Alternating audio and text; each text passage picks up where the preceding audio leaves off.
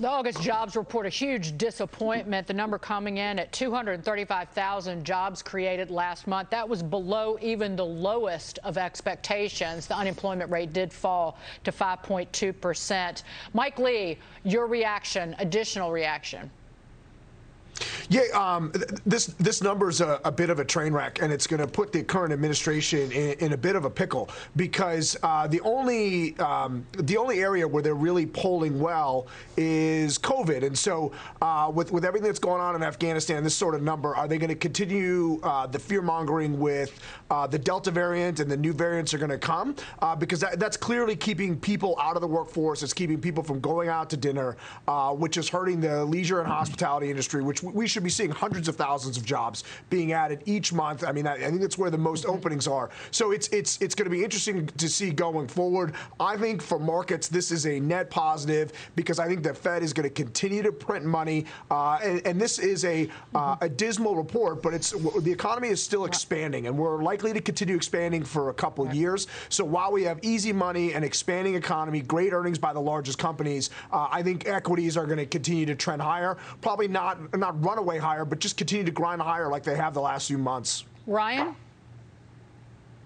Well, you know, again, we're still, if my math is right, we're five and a half million jobs away from pre-pandemic levels. So what does that tell us, right? This this job number was disappointing. The Fed is still going to be the tailwind we talked about, but again, what's corporate America telling us, right? That, that things are getting better. I mean, there, there's a lot of sales going on, and we've seen mm-hmm. record earnings. There are some real positives. Guys, we're up 20% for the year, all right, at the end of August. That's only happened a handful of times. And you know what's happened the last couple of times? The rest of the year, back in the mid 90s, we saw this. We saw nearly 10% gains the rest of the year. So I know all the stuff we're talking about today is a disappointment. But the truth of the matter is, we are still in a bull market. The Fed is still a tailwind, and corporate America is still growing, and earnings are growing. So we uh, we're still pretty optimistic, at least from the investments point of view. Well, the political landscape was altogether different because the Democrats were, well, really on the side of conservatives in some ways in the 90s. Uh, Patrice. yeah, I think this jobs report is, uh, it comes at a good time, I think, for President Biden, who is on a staycation this weekend in Delaware. Uh, I think it'll get a couple of headlines today and maybe kind of dissipate over the long weekend.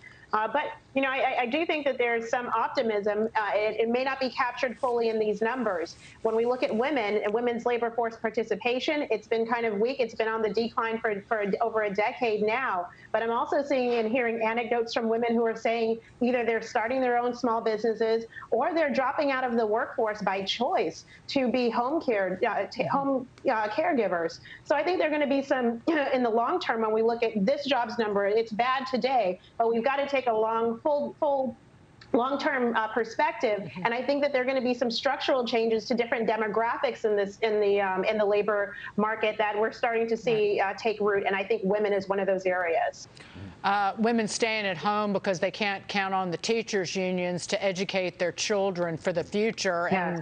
and educate them for the, the, jobs of the future joni Bayly, a final word from you yeah, you know, I just want to say Patrice makes a great point. I was looking at labor participation for women. It's 57.4% versus men over 20, it's 69.9%. So we definitely have a challenge. And I think this speaks to the, the fact that employers need to think about creative ways to attract women into the workforce. And maybe that is more flexible workforce models, um, job sharing. We've talked about things like that in the past. It might be time to revisit that. We need to get women back in the workforce and participating.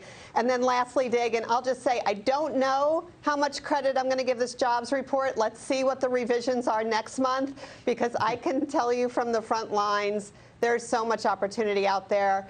Um, employers are hiring in all industries ac across the board. I think the issue, just again, is that labor participation rate. I am going to let Steve Moore, you get 15 seconds. Final word.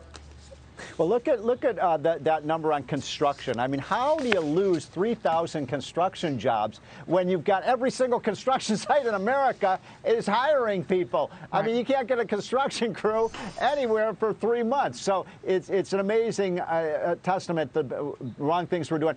Final thing I'll just say about this is do worry about inflation. I think Yep. it's it's a big problem coming. I think that the wages are not keeping pace with They're the not. cost of living. Not this and year. So th- that's a big problem for workers. All right, I, I want to thank everybody Steve Moore, Joni Biley, John Lonski, Mike Lee, Ryan Detrick, James Freeman, and Patrice Lee Onwuka. I hope I didn't forget anybody. I think I got you all there. Thank you so much.